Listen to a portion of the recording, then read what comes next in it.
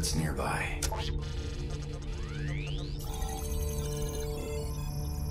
Something decommissioned, maybe? Ah, there. Perfect.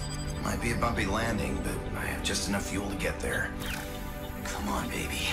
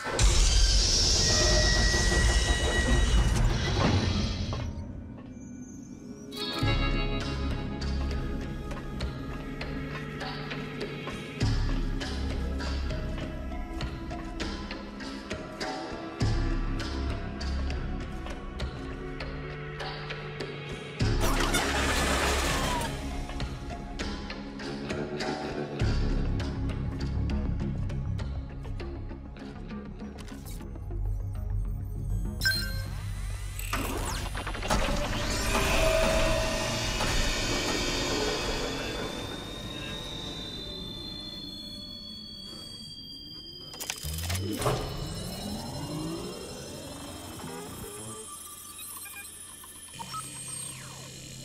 on, be right.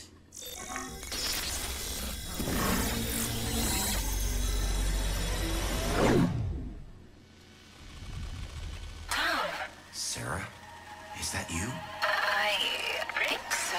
I'm missing some subroutines, and I've got all kinds of new information in my matrix. But I'm here. How did you do it? I downloaded the entire Absolution's infrastructure mainframe, hoping that there was enough of you spread out through all of its systems that plugging all that back into a healthy mainframe might allow you to reconstitute. Thank you, Tom. I'm not sure how much of the old me is gone forever, and what new parts I'll find, but I'm just happy to see your face. But I'm not happy to see your down an arm.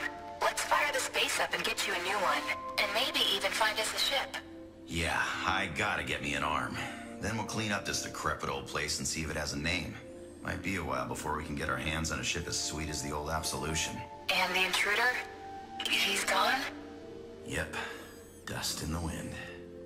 Now, about my arm, did you find anything? Take the left out of this room and hit the first door on the right. There's a molecular printer in there. I've uploaded the design, but the printer hasn't been active for a long time, so... Hey, I'll take what I can get. Fire it up.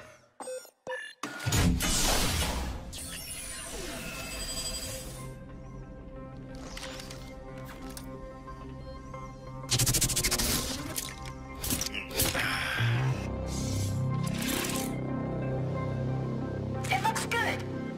How does it feel? Well, it ain't perfect, but it'll do till perfect gets here. Thanks, Sara. You're welcome. And by the way, I know. We have a broadcast to do.